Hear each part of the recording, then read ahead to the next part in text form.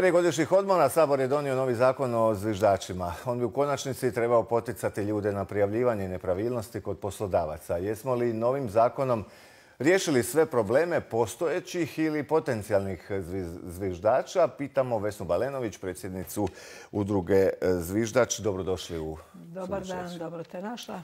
E, je li ono po našem starom novi zakon isti problemi? Pa ovaj novi zakon kod da ga i nema. Ovaj novi zakon je e, donešen 1.7. E, ove godine. Međutim, ovaj, taj zakon je donešen bez ikakve apsolutno podloge. Taj zakon se, ja bih rekla, ne odnosi na nikoga, znači ne, ne odnosi se niti na bivše zviždače, znači na naš postojeće, niti na buduće.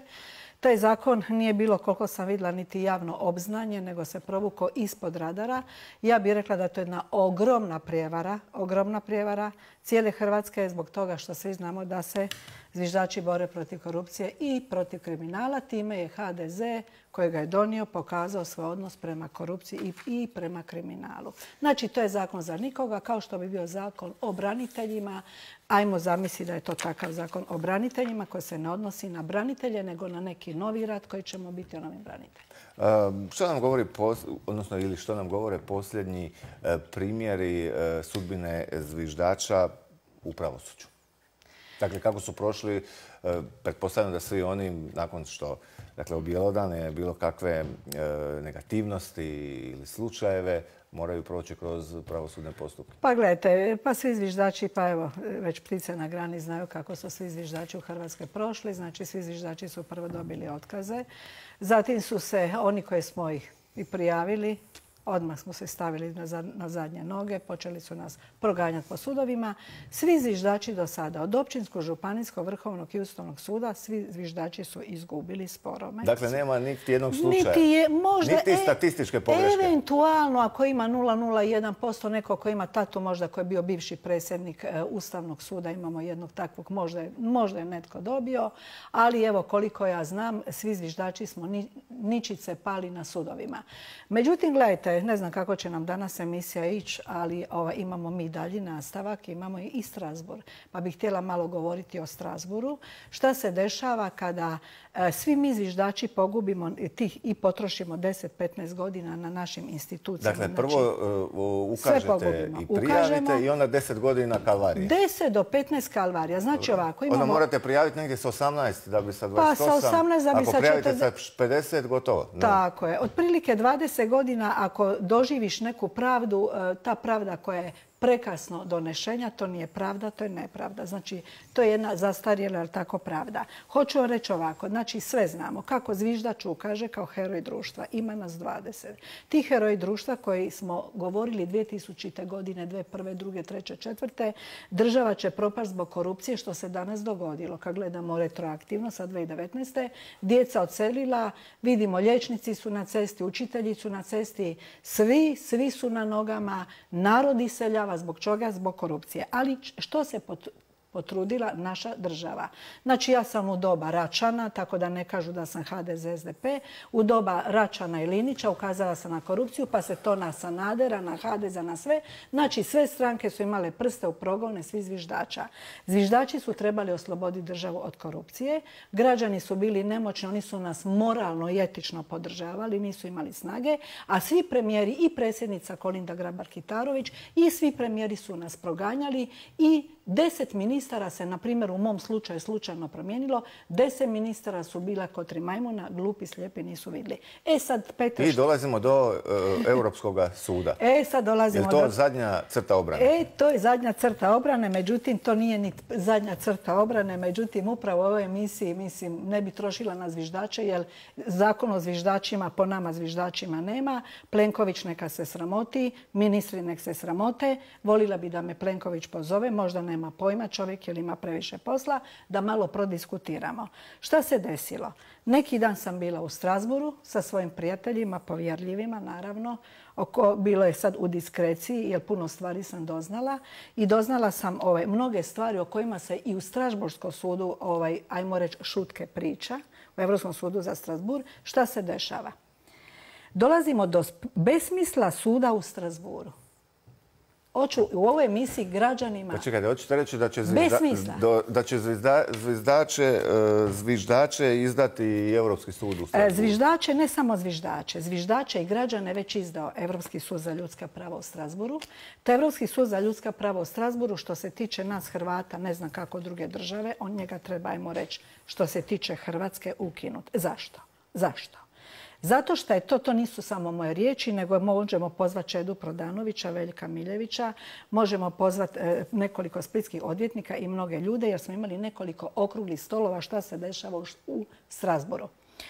U Strasburu su postavljene dvije osobe. To ja govorim sad iz prve ruke, a o tome se i priča, ali ja moram sad ovako javno reći. Postavljene su osobe iz Hrvatske, znači hrvatski suci sude nama, građanima i zviždačima u Strasboru. Znači ono što nas, ovo što su nas maltretirali od općinskog do ustavnog u Hrvatskoj, one nastavljaju. Reću njihova imena, dvije to zbog osobe... jezične barijere? Molim? Je to zbog jezične? e, ovako, 2010. godine kad je došao strašno veliki priliv u Europskom sudu u Strasboru Predmeta. iz istočnih zemalja i predmeta, to je bilo na stotine tisuća predmeta jer su to koruptivne države. Europski sud u Strasburu je zamislio možda jednu moralnu ili nemoralnu, ne znam, ajmo reći da je moralna. Ajmo reći da je moralna ideja da se uzmu hrvatski suci izvjestitelji, kod nas konkretno, zbog jezične barijere, da tu nenormalnu količinu predmeta pokušaju prevoditi. Šta su naši ljudi napravili, naše ministarstvo, da se kaže kao ministarstvo vanjskih poslova, on ih, predlaže, a ministarstvo pravosuđa ih imenuje. Znači, ta dva ministarstva su u jednom talu koje su osobe izabrali. Izabrale su najkoruptivnije osobe u Hrvatskoj. Osoba koja vodi odjel od 30 ljudi, ona, je, ona je, nije sutkinja, ona ima još jače ingerencije. Ona je e, sutkina, e, ovaj, zove se izvjestitelj, tako je ime. Ona je Elica Grdinić. Elica Grdinić je jedna osoba koja bi ljudi govore u javnosti, ne ja u javnosti, vidit ćete puno emisija, čak govore nemoralna, moralna nakaza, osoba koja iskrimi... To su Osoba, teške kvalifikacije. Te- neka, neka, neka. Upravo mi je drago zato što to govore ljudi. Ja moram prenositi i Ivan Grčan. A zašto je vama ona suspektna? Ovako, ovako, suspektna ovako. E, Moram reći, Elica Grdinić, Štefica Stažnik, koja je zastupnica bila ovaj, Hrvatske pri vladi, e, znači u odnosu sa Strasborom. Elica Grdinić i Štefica Stažnik, što rade? Sa svojih 30 kolegica sa tim odjelom. Znači ovako, e, Reću statistički podatak. Na primjer, 2000. godine došlo oko 2,5 tisuće predmeta iz Hrvatske u Strasbourg. Znači, nakon što su ljudi premučeni, došli izviždači nakon 15 godina u Strasbourg. Oni su ih od te 2,5 tisuće riješili 20. Znači, 1% predmeta rješavaju, a 99% Elica Grdinić i Štefica Stažnik vraćaju u Hrvatsku. Na doradu znači, ili? Ne na doradu, nego ovako. U jednim, e, e, e, samo s jednom rečenicom. Ta rečenica je Vaš je predmet nedopušten, građani dobro moraju slušati i javljaju mi se. Vaš je predmet nedopušten, potpiše fantomskog suca za kojem ne znam li postoje ili ne podnose. Uvijek je njezin potpis dok je ruka ne zaboli, vjerojatno 100 do 200. Kad je ruka zaboli, bit će stavi u vodi pa je ladi. Ona naprosto napiše, vaš je predmet nedopušten, po članu 34 i 35 konvencije za po ovaj e, evropskim pravima.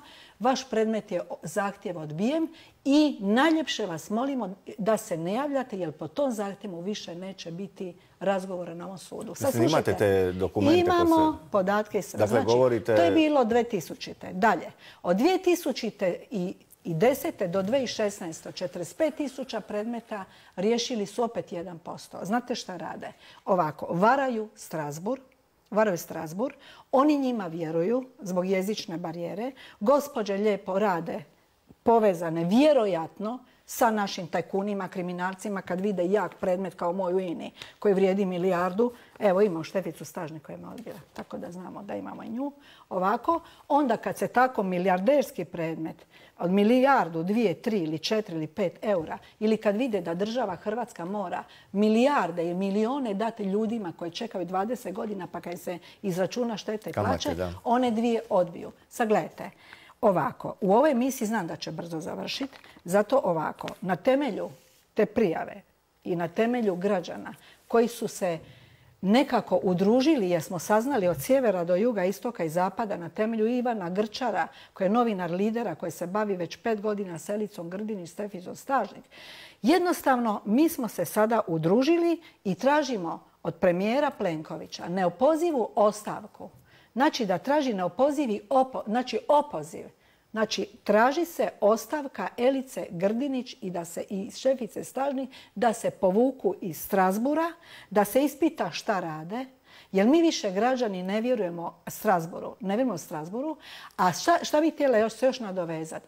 Europska komisija je rekla da Strasbur je smokvin list za sve predmete. Sada, šta je u pitanju? Da li je Evropska komisija primijetila šta Strasbur radi ili Strasbur pokriva? Osim toga, naše dvije kolegice, gospođe, koje su po mom mišljenju nemoralne i mišljenju mnogih ljudi, oni su vam, imaju svoju ševicu, zove se Elis, E, Elizabeta Steiner.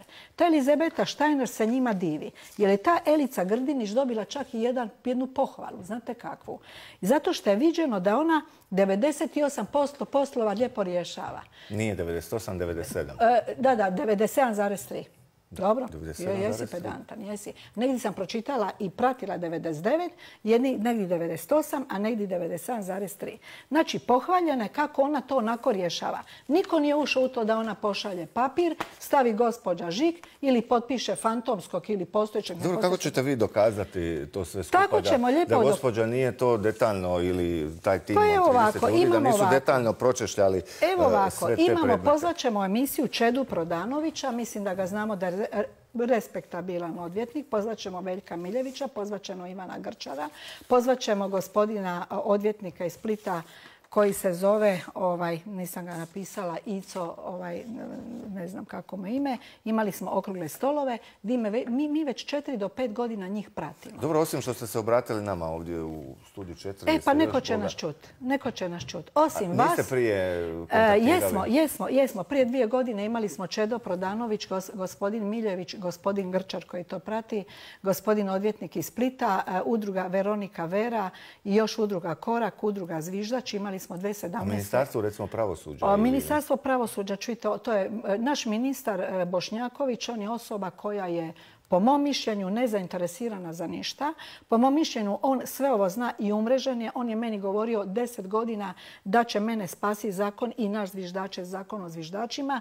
Na kraju je i svoga ministarstva pustuje nakaradan zakon gdje nije o zviždačima, koji nije na zviždača apsolutno konzultirao. Gledajte i naš, gledajte, našem ministru pravosuđa i ministrici Burić koja je u Srbiji pričala srpskim jezikom nema, mislim i bilo kome se obratiti, mislim da je to mrtvo slovo na papiru.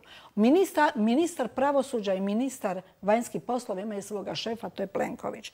S Plenkovićem ćemo se mi grupa javiti i mi ćemo kazati ovako, da je gospođa ova stažnik koja je 2009. godine mene odbila, slušajte dobro, zašto je moja Golgota 19 godina? Zbog te štefice stažnik. Saslušajte samo ovu jednu rečenicu. 2009. godine, znate ko je ministar Šimonović? Posle otišao kod Bankin Muna Ujedinjene narode. Kad je Europski sud za ljudska prava 2009. godine poslao Hrvatskoj da se sa, mnom, sa gospođom Balenović napiše mirno rješenje. Gospođa Kosor i ministar Šimonović su napravili mirno rješenje i ponudili mi 20 tisuća eura, Hrvatska država, evo napisano je, da se napravi mirenje i mene vrati u INU. Znači prije deset godina. Međutim, kada je to izašlo u medije, da je ministar Šimonović i gospođa Kosor, koja je bila premijerka, da su se sukladno ponašali i da žele ovu strahotu što se na najpoznatijim zviždačem radilo da se smiri, došlo je novinar, u medijima je to izašlo. Znači, Vesna Balenović je dobila 20.000, ne dobila, nisam je nikad dobila, nego će dobiti 20.000 eura za povratak e, na ime obeštećenja simboličnog. E sada, pita me novinar koji vi. Petar pita Vesnu, da li ste zadovoljni? Ja kažem jesam. Hvala Bogu, ko ne bi bio zadovoljan nakon devet godina Neka je pravda spora, stigla Spara, spora, digla je, došla, idemo sve zaboraviti, idemo dalje. Međutim, Štefica Stažnik je onda bila u Dalmatinski jedan, evo je potpisa ovdje. Ona je onda bila tek zastupnik vlade, posle je nagrađena možda i zbog mene i zbog drugih zviždača. Znate što je napravila? Prijavila me je Strasboru da sam, da sam rekla da sam zadovoljna i da sam odala teško povjerljivu informaciju. I na kraju me njena kolegica Onda, sam, onda me Strasbourg tražio da se ja opravdam, pa sam rekla da sam javna osoba, da, sam samo rekla da sam zadovoljna. Ona se našla za skodnim da najpoznatije zviždača koji je zdrmao u prijavi, a onda kad sam pisala Strasbourgu i rekla da sam javna osoba, da sam rekla da ne smije komentirati, da, on mi je odgovorio onako ko što je Elica Grgunić. Vaš je predmet, gospođo I dakle, ništa od mirenja ništa, nije bilo? Ništa, nikad. I, ovo samo da kažem javnosti. hrvatska javnost me zna zaustavljati na ulici. Vi ste dobili 10 milijuna, 5 milijuna, 8. Nikad nisam dobila ništa. Nikad jedne lipe, nikad jedne kune, nikad obeštećena. E, DORH je 2011. dokazuje i tako dalje. I još samo nešto za ovu stažnik. Za ovu stažnik koja mora biti opozvana. Ako ne bude hrvatski narod, vjerojatno mi koji smo se povezali, mi ćemo jednostavno otići premijeru, čekat ćemo ga pred vratima dok nas ne primi. Ta Štefica Stažnik, zamislite što je napravila. Štefica Stažnik vam radi za hrvatsku vladu i radi za srpsku vladu. Slušajte ovo. Čekajte, čekajte ma, samo rečenica. Štefica Stažnik radi za Hrvatsko-Srpsku vladu. Znači, uhvaćena je. Bila je ona šefica pravosudne akademije i ona je radila u Strasburu, a onda kad su uhvatili da, dobila, da je radila 220 dana za Srbe, da je pripremi sa svojim znanjem i sa svojim iskustvom da, uđu u Evropsku uniju, onda je rekla da je 220 dana radila za Srbe, da je to radila u slobodno vrijeme, da je to radila za vrijeme bolovanja i da je dobila 250 tisuća Dobro, koliko ste do sada imali sudski postupak? Ja, 152. Očekujete li 153. nakon ovog Pa gledajte, 153. ja se ne bojim zato što imam argumente. Čujte, ja bi jako volila da dođe 153. da mi dođe Elica Grdinić, Stažnik, Ivan Grčar i svjedoci koji su pogubili da nam pokaže Elica Grdinić. Nemojte mene pitajte, se. Pitajte njih ili ima argumente. Neka pokažu košuljice. Još samo malo. Jedna gospođa... Moramo, imamo i druge goste. Ona se zove Jerina Matošević.